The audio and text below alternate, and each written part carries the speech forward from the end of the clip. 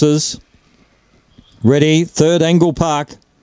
Racing, Never Fear got out quickly. Going with it early was Absolute Zero. Never Fear kicks up and holds the front. Going forward quickly is Nans Ruby. Nans Ruby has got superior speed. Goes to the front now from Never Fear. Absolute Zero. Round the outside, meaning business. A cap on the field then to Yvonne Allen and Amy Farah Fowler in the straight. Never Fear's kicked up on the rail. Takes the lead from Nans Ruby. Never Fear beats Nans Ruby. Amy Farah Fowler came home like a train for third. Fourth home in the race, meaning business. They're followed by Absolute Zero, Yvonne Allen, Crypto Jacket, and Techno Tilly was never a chance in the race. They've run 22.90, and the numbers are 1, 5, 8, and 4.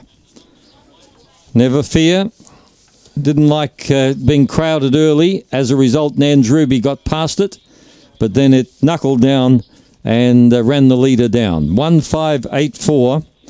Never Fear. Number one is a black bitch by Theosophonic from Flying Peggy, raced by Sandro Bacchini and trained by Kevin Manane.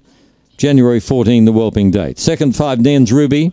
Third, number eight, Amy Farah Fowler. That's her best run, actually.